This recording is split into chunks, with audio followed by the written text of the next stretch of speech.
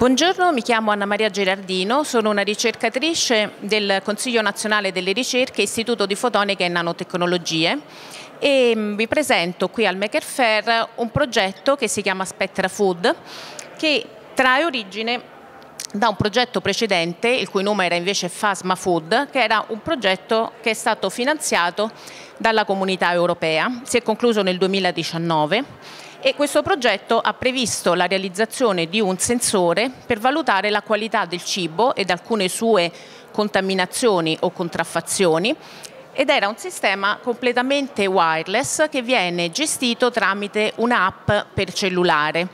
Il sistema funziona utilizzando la luce che viene riflessa da un campione di cibo e viene poi confrontato con un insieme di altri eh, dati che sono già stati immagazzinati in un database, dando poi una risposta circa la qualità o la contaminazione o la contraffazione in senso positivo oppure negativo.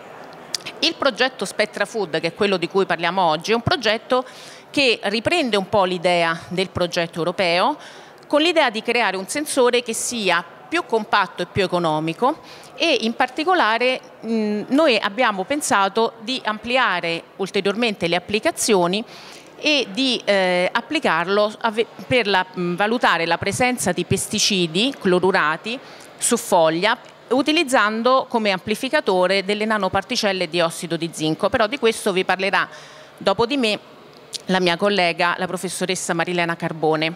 E un'altra applicazione che ci è stata suggerita da un produttore e la possibilità, proprio perché era di loro interesse, era di valutare il contenuto proteico e di umidità, quindi la quantità di acqua, presente nelle farine e nei gradi integri, con una precisione almeno dello 0,5%. Nell'ambito di questo progetto, essendo un progetto della Regione Lazio, noi siamo anche alla ricerca di ulteriori applicazioni soprattutto da produttori della Regione Lazio, in modo tale da poter ampliare e di creare un servizio anche per, eh, per la Regione. Come funziona? Nel progetto europeo avevamo già validato la possibilità di misurare aflatossine, che sono delle tossine che si generano da funghi e sono molto comuni sul grano, sulla frutta secca ed anche per esempio nell'uva, quindi possono rientrare nel vino l'autenticità di olio d'oliva e del latte in polvere, quindi noi siamo in grado di valutare se ci sono state contraffazioni e anche il livello di maturazione. Come lo facciamo? Vedete ci sono delle foto abbiamo una foto nel visibile, quindi è stato illuminato con luce bianca. Poi c'è una foto che è una foto di fluorescenza, vuol dire che abbiamo illuminato con un LED a ultravioletto, ma il materiale assorbe l'ultravioletto e riemette luce nel visibile. Quindi la luce che voi vedete è una luce visibile, ma è generata dall'assorbimento di luce ultravioletta. L'ultima è radiazione nel vicino infrarosso. Sotto vedete uno spettro, lo spettro è praticamente un grafico costruito con l'intensità della luce riflessa dal campione in funzione della lunghezza d'onda, quindi a seconda dello spettro che noi andiamo a, individuare.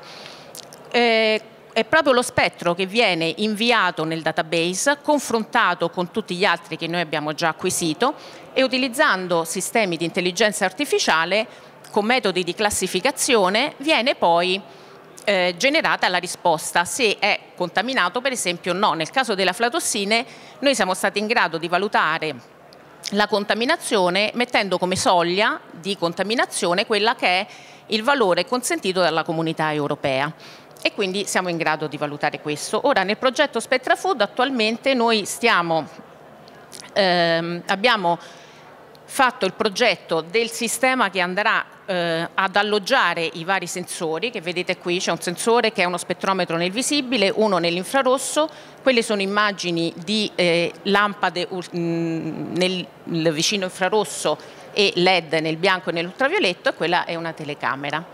Detto questo lascio la parola alla mia collega che vi parlerà un pochino meglio dei pesticidi clorati e perché è importante eh, misurarli. Quindi lascio la parola alla professoressa Carbone. Buongiorno, sono Mariana Carbone dal Dipartimento di Scienze e Tecnologie Chimiche dell'Università Tor Vergata e intervengo in questo progetto che ha introdotto la mia collega del CNR per quanto riguarda la parte dei pesticidi clorurati. Ora, i pesticidi clorurati sono permessi in agricoltura e vengono utilizzati per tutta una serie di colture, quindi pero, melo, drupace, cucurbitacee, cereali, pomodori, diciamo l'uso è abbastanza abbastanza diffuso. Qual è il problema? Il problema è che nel momento in cui l'alimento viene messo sul mercato, la concentrazione residua di pesticida clorurato deve essere al di sotto di una certa soglia diciamo, e questo è completamente ragionevole.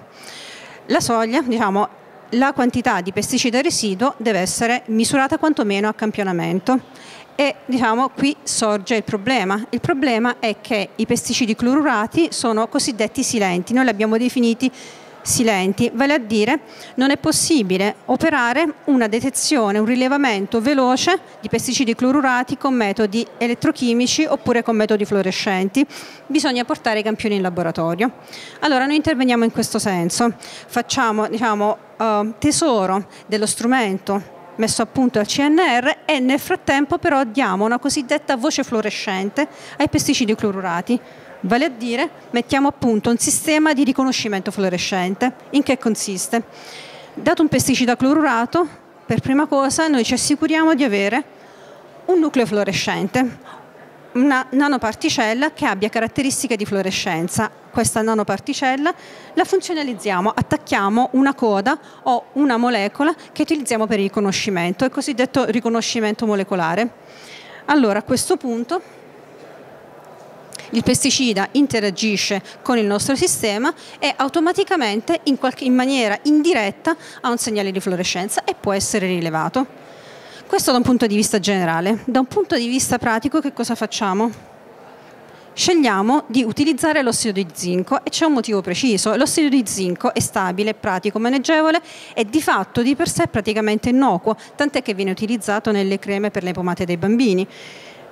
Ma facciamo un'altra cosa, dobbiamo ottenere delle nanoparticelle. Le nanoparticelle le abbiamo, diciamo, eh, abbiamo messo a punto un sistema di sintesi di nanoparticelle green, totalmente green, vale a dire la sintesi la effettuiamo in solvente acquoso, in acqua e a temperatura ambiente, al massimo arriviamo a 40 gradi.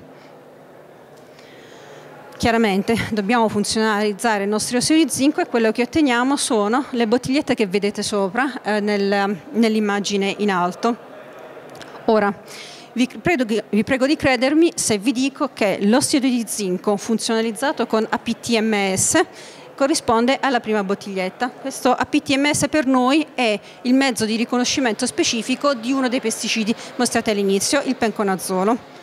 Allora, fatta tutta quanta questa operazione dobbiamo verificare che il sistema funzioni e lo facciamo in due modi. Prima di tutto verifichiamo attraverso la microscopia, in questo caso elettronica, necessariamente elettronica, che abbiamo effettivamente delle nanoparticelle e così è.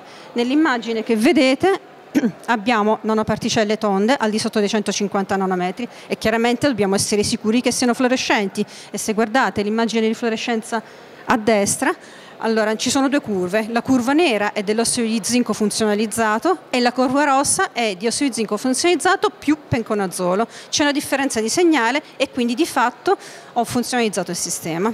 Allora, chiaramente questo è l'incipit del progetto, dobbiamo fare tutta una serie di verifiche e oltre a questo chiaramente c'è la parte um, del progetto che riguarda i cereali di cui vi ha parlato prima Anna Maria. Allora, sicuramente andremo avanti col progetto, ma diciamo, soprattutto diciamo, mi interessa ribadire che siamo aperti a collaborazioni con chiunque fosse interessato a questo genere di applicazione su vari alimenti o su varie culture sul campo o quanto riteniate necessario. Grazie per l'attenzione.